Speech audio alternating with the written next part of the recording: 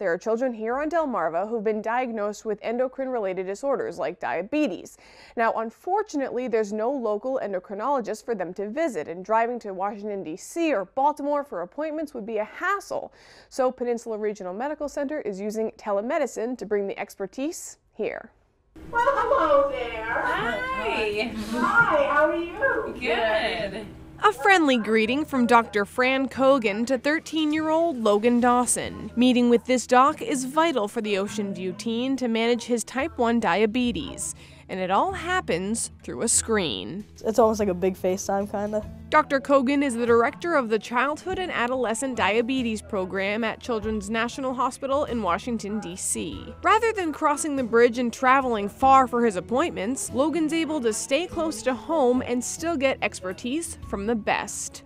It's way better because, like, you can just, instead of like a few hours, you can just come here like 45 minutes away. Peninsula Regional Medical Center's pediatric specialty office started making this connection happen about eight years ago. Nurse practitioner Flora J. Glasgow says it was born out of a need for a local endocrinologist for children right here on Delmarva. We're passionate about being a resource for these kids and being able to treat them locally so they don't have to make so many trips across the bridge. Parents can breathe a sigh of relief. It's so convenient to be able to be uh, in our backyard, to have such great access to medicine. Logan's already had a few appointments with Dr. Cogen after his diagnosis last May.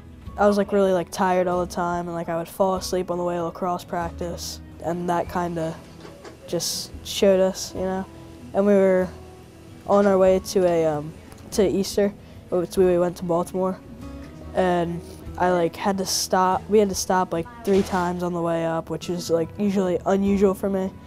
And um, but and we really saw it there. Taylor Copes also has type 1 diabetes and benefits from this telemedicine. We chat about um, the corrections and changing numbers up and about my weight and um, my blood sugar is. Undoubtedly, a face to face meeting is ideal, but this really is the next best thing. After a few visits, it's fine because we get to know each other personally. If I had my way, I'd love for Taylor to pop out at Children so I could meet her in person, but that's really a big ask, so we don't do that. But eventually you learn different ways of communicating, which takes practice and also the ability of me getting Taylor and her mom to talk to me remotely. Hmm. You know, that, that also is can be difficult.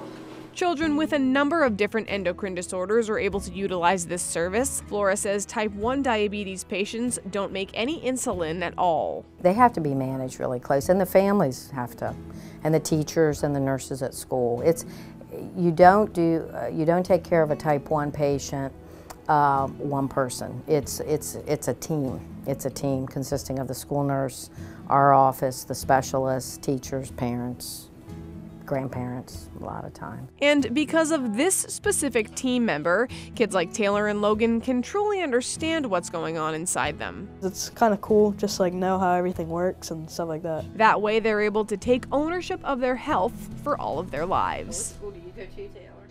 For more information on how to get in touch with PRMC, head to our website, delmarvalife.com.